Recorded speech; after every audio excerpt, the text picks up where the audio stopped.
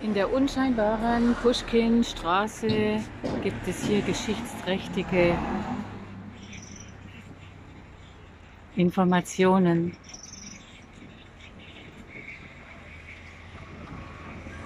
Ein wunderschöner Tag heute, die Sonne scheint. Also wenn die Sonne scheint, ist Batumi wirklich sehr nett. Alles total entspannt. Bin hier in der Pushkinstraße.